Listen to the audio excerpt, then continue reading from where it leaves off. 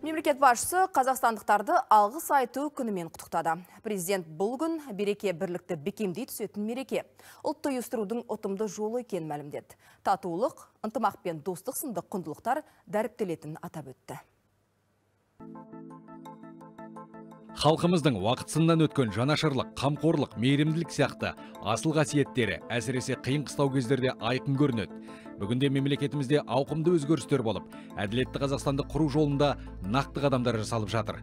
Осындай сындарыл сәтте елдік мүддені бәрінен биік қойып, ырыс ынтымағымызды сақтау өте маңызды.